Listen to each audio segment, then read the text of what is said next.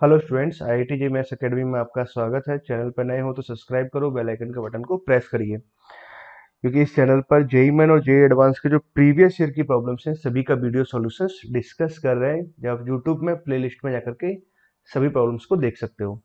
Okay students video continue करते हैं। इस वीडियो में डिस्कस कर रहे हैं चैप्टर कंटिन्यूटी एंड डिफ्रेंशियबिलिटी का प्रॉब्लम और ये जो प्रॉब्लम है जेई मैन टू में टेंथ जनवरी को शिफ्ट टू में जो एग्ज़ाम हुआ था उसमें ये प्रॉब्लम आया हुआ है। क्या है? फ़ंक्शन एफ़ है minus one comma one interval से आर में डिफाइंड है। Such that F X is equal to क्या दे रखा है? Maximum of minus mod X minus under root of one minus X square ठीक है तो F X is equal to ये गिवन है। क्लियर स्टूडेंट नाउ आगे दे रखा है K be the set of all point at which function is not differential then K has exactly तो कितने सारे पॉइंट्स पे नॉन डिफरेंशियल आएगा? हमें इसके बारे में पता लगाना है। तो स्टूडेंट सॉल्व कैसे करेंगे?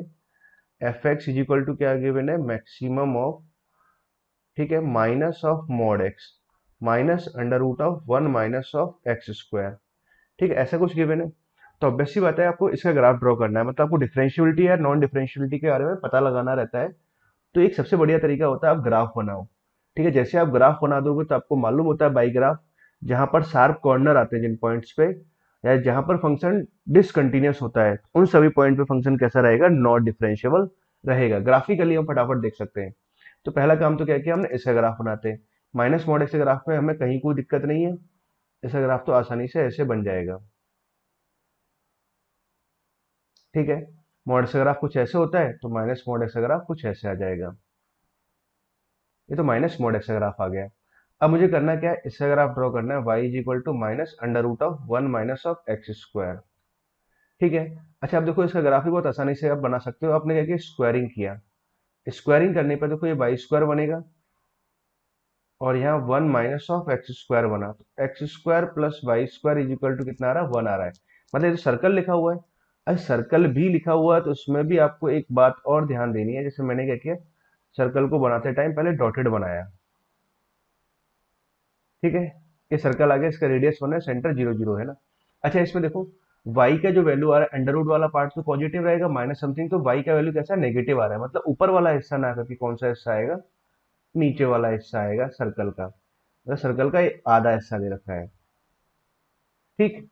यहाँ तक की बात आपको समझ में आ गई? माइनस वन टू वन में। तो और x का जो वैल्यू है वो माइनस वन और वन से बाहर नहीं जा रहा है तो मतलब हमें इतने इंटरवल का हमें ग्राफ चाहिए।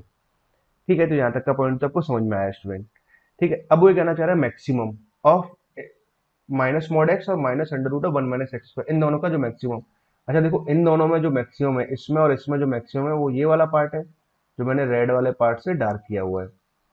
ठीक है, इन दोनों में जब मैक्सिमम ढूंढेंगे तो वो ये आएगा।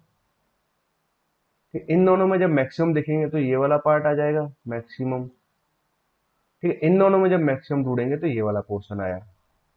ठीक है मतलब ध्यान से देखो तो एक शार्प कॉर्नर यहाँ बन रहा है, एक शार्प कॉर्नर यहाँ बन रहा है और एक शार्प कॉर्नर यहाँ पर बन रहा है। ठीक है, तीन जगह कैसा आ रहा है? शार्प कॉर्नर आ रहा है।